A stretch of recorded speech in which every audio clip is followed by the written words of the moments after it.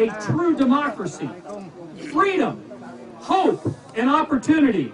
And Hun Sen would be wise to take note.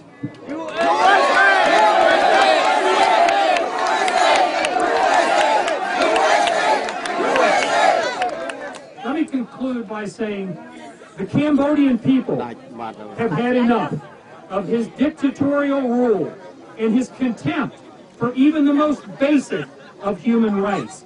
The, Campo- the Cambodian people deserve better, and it is time to end Hun Sen's illegitimate reign over the people of Cambodia. May God bless the United States of America, and may God bless the people of Cambodia.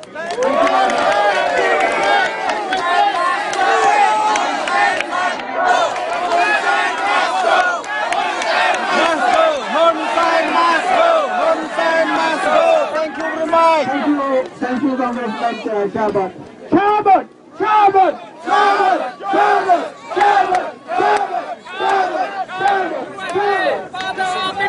Thank you.